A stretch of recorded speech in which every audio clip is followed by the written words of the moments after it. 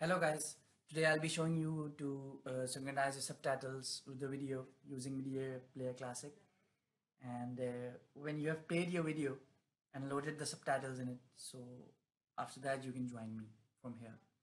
So I have a video here, uh, let's hear it and see where the subtitles are right now.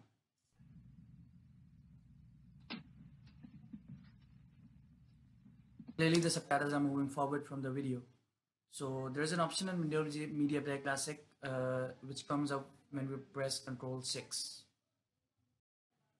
What we're going to do is pick a point in subtitles uh, which is a little away from the video, which is, you know, it is going to come. So choose a point. Uh, yeah, let's stick here and uh, remember the function key F5 we're going to press F5 we will want the subtitles to synchronize with the video so let's go and see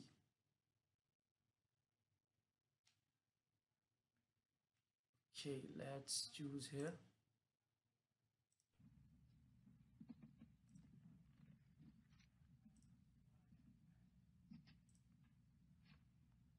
That I cannot do.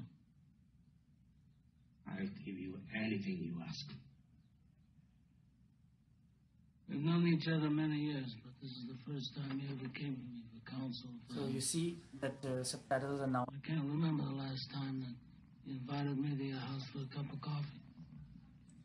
and that's exactly all that you need to do to synchronize the subtitles with the video press ctrl 6 to bring up this dialog of subtitles and press f5 where you want the subtitles to go with your video thank you